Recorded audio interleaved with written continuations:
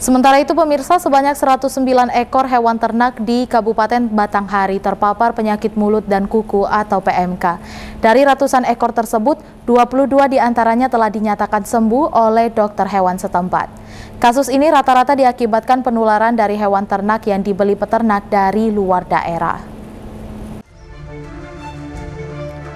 Penyakit mulut dan kuku atau PMK yang menyerang hewan ternak di Kabupaten Batanghari terus meluas. Dari data Dinas Perkebunan dan Peternakan terbaru, untuk di wilayah Kabupaten Batanghari sudah sebanyak 109 ekor hewan ternak yang positif terpapar PMK. Kepala Bidang Peternakan dan Kesehatan Hewan Dinas Perkebunan dan Peternakan Kabupaten Batanghari, Dr. Hewan Tuanku Hafik mengatakan, dalam satu pekan ini mengalami penambahan 69 kasus dari yang sebelumnya hanya berjumlah 40 ekor. Ratusan ekor hewan yang terpapar PMK ini tersebar di tujuh kecamatan, yaitu Bajubang dengan jumlah 35 kasus, Muara Bulian 24 kasus, Muara Tembesi 39 kasus, Batin 24 2 kasus, Pemayung 2 kasus, Mersam 3 kasus, dan Marosebo Ulu 4 kasus.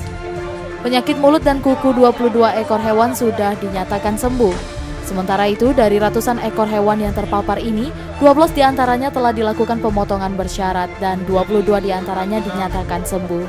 Dengan demikian, masyarakat dihimbau untuk segera melapor jika ada hewan ternaknya mendapati ciri-ciri terjangkit PMK. Untuk penambahan dalam per minggu ini 69 kasus ya. Sudah, jadi total per tanggal 23 109 kasus yang sembuh 22, yang mati belum ada, potong bersalah 12 ekor. Nah, untuk wilayahnya sendiri ini di mana saja nih? Ini di kabupaten uh, di kabupaten ada beberapa desa, ada 12 desa.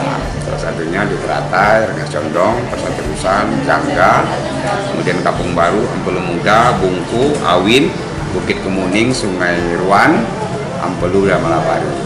Jadi kalau untuk penyebaran kasus itu desa tertular ada 12 12 desa. Joni Firdaus, Cek TV melaporkan.